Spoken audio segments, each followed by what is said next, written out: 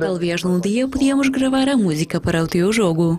E ele assim: Sim, boa ideia. Queres sair aqui? Está bem, adeus. Bye.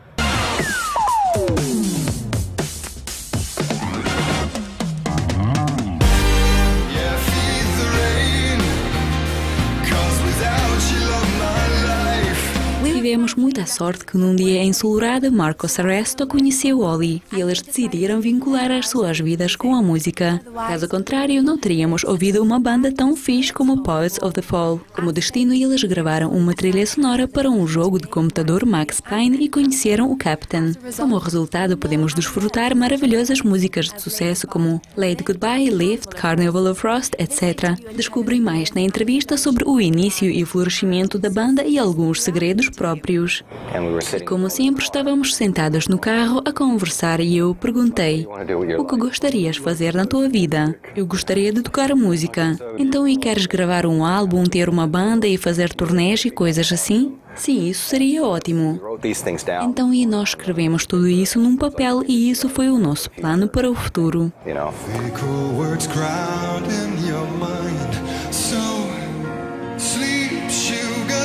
Let your dreams like waves of sweet fire. You're safe within. Yeah. Music is one of those things that A música é uma das coisas em que eu sempre estava envolvido, bem como artes visuais. Eu estive pintando graffiti desde a infância. and all that stuff. And then Em seguida, no meu mundo apareceram essas coisas cicatrizantes. Eu comecei a fazer massagem esportiva, talvez porque eu sempre estava fazendo a escalada. E eu continuo a ter paixão por isso. Após disso, eu comecei a aprender acupuntura porque eu sempre fui interessado. Conhece essas coisas quando as pessoas podem matar através das terminações nervosas. E eu queria aprender isso. Mas depois eu percebi que talvez não é uma boa ideia de magoar as pessoas. E eu pensei que talvez eu podia me envolver nessas coisas nervosas ou meridianos para ajudar as pessoas e então eu comecei a aprender acupuntura.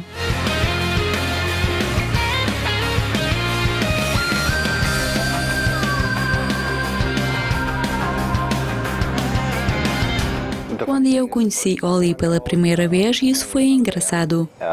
Naquela altura eu estava tocando na outra banda e nós estávamos tocando num festival de praia na Finlândia no meio do verão.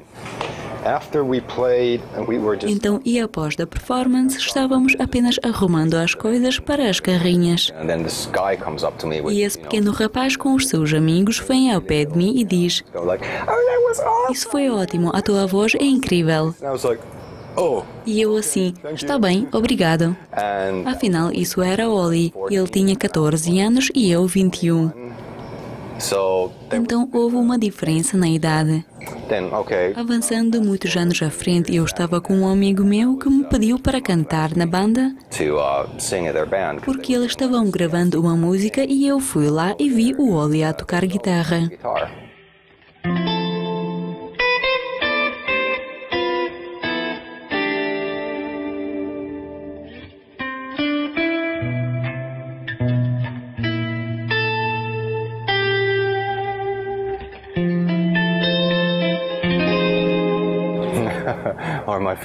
Sim, Sam é o meu irmão espiritual. Primeiramente, ele é um dos meus amigos mais velhos. Já nos conhecemos há muito tempo. uh, Pensando nisso, eu realmente acho que é muito importante para as pessoas ter alguém especial na sua vida. Um amigo que seja muito caro e próximo, que possui o mesmo tipo de maneira mental de olhar para o mundo, maneira de sonhar e fazer as coisas. Então, eu tinha muita sorte e sinto-me muito abençoada por ter muito bons amigos. E Sam é certamente um desses. Se relembrarmos a história da nossa carreira, acho que foi realmente muito bom que trabalhamos juntos. E tudo começou numa conversa no carro, em que eu disse: Talvez num dia podíamos gravar uma música para o teu jogo. Talvez num dia podíamos gravar uma música para o teu jogo.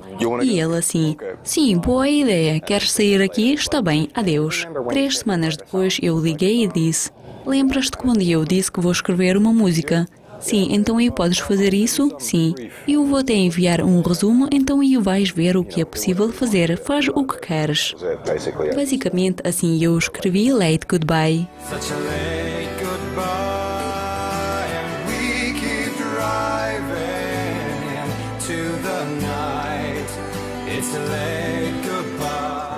Se eu jogava esse jogo, provavelmente eu também queria matar-me.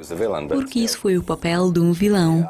Mas eu simplesmente estava correndo pela floresta para eles tirarem as minhas fotografias para a criação da personagem e desenhos. E eu estava simplesmente assim: bem, onde eu devo apontar a minha arma? Assim ou assim? O que eu devo fazer? Então é isso que me lembro, sempre a perguntar: será que a minha camisola fica bem? E o meu gorro? E novamente, qual é o meu nome? Vladimir? Está bem. Então eu lembro-me mais do processo em si. Man, relax. You know you are a real news item, armed and dangerous. I am going to make you an offer you can't refuse. I've always wanted to say that. Eles estavam trabalhando num prédio grande onde havia duas empresas.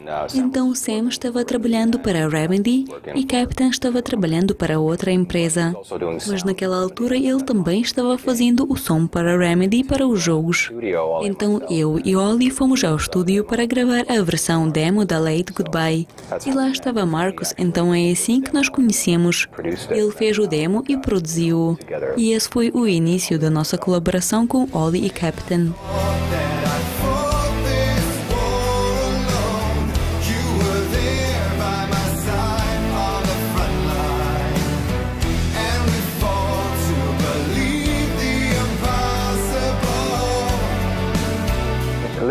Ouvir e cantar é um processo completamente diferente. mental process. So, you know, Então, durante um ano não tocamos Late Goodbye porque eu fiquei tão aborrecido. singing it for, I don't know, Porque eu já estava a cantar a mesma por 8, 10 anos. E eu disse que já não vou cantar essa música. E nós não tocamos. Mas esse foi o caso único. Relativamente às outras músicas, isso não é o problema que elas são populares. Eu estou bem com isso.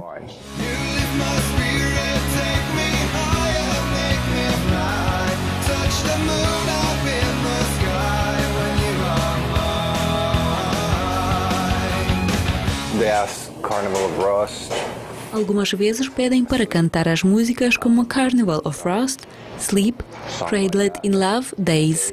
um. Uma vez alguém me pediu para eu tocar Rewind. Someone asked, like, E eu até já não me lembrava dela. what? Is that our song? Because Nós tocamos essa música ao longo de um ano, mas foi raro. so many times. So, yeah, Às vezes você simplesmente esquece das músicas que tem.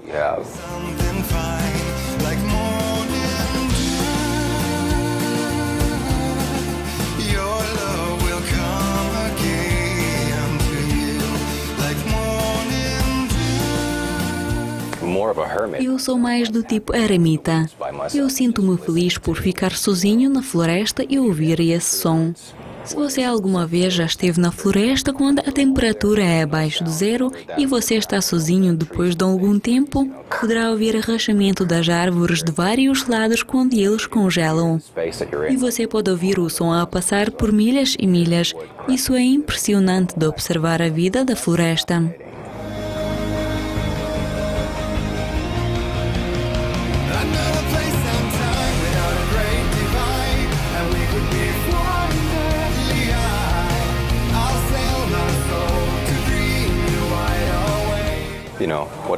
Você deve fazer o que gosta e o que é para você. It's about Mas eu posso me expressar através da escrita. Normalmente, quando eu escolho os tópicos para escrever, é quando algo acontece na minha vida. Faz-me pensar para eu escrever ou pensar sobre certas coisas. Então, dessa forma, eu transmito as minhas experiências em palavras. Bem como gosto de fazer um jogo com línguas e palavras.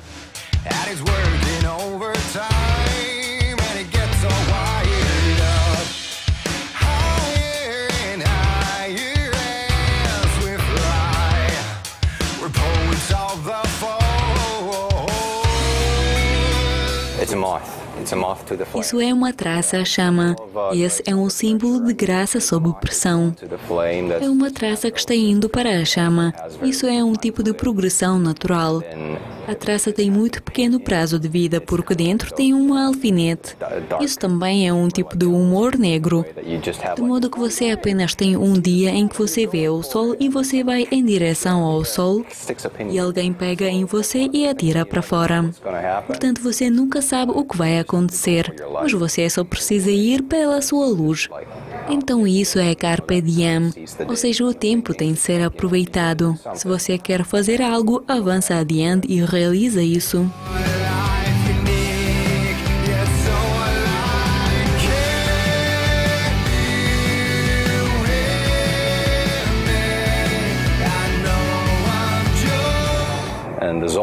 A personagem Zoltar parcialmente foi a ideia dos diretores sobre esse personagem da Slot Machine.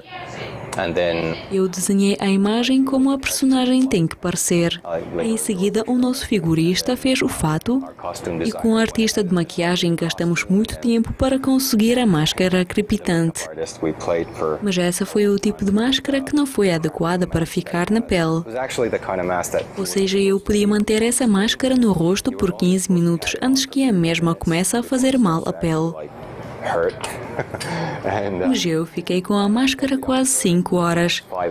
E então, quando eu lavei-a, eu fiquei quase sem pele.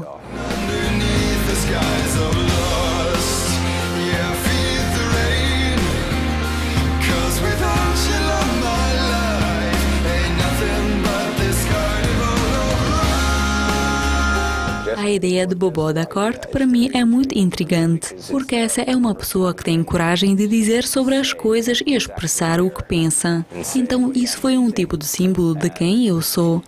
Normalmente, quando eu falo com as pessoas, eu tento de ser mais sincero e direto. Mas a questão é que nem sempre é inteligente dizer o que você pensa, porque o que você acha pode não ser como as coisas realmente são. Ou você não necessariamente sabe como elas são na verdade. Mas você ainda pensa que elas são de certa maneira e você pode estar enganado sobre isso. Sobre isso é o nosso novo álbum.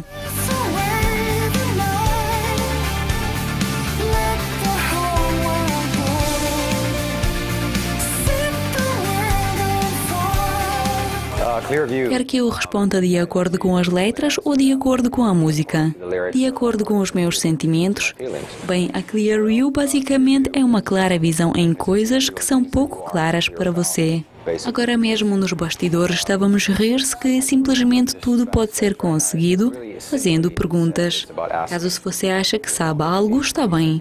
Mas se você sabe que não sabe nada, a forma para conseguir uma visão clara é através das perguntas. Então, basicamente, o álbum é sobre isso. Mas eu acho que esse é um tópico muito amplo, sobre o qual poderíamos conversar muito.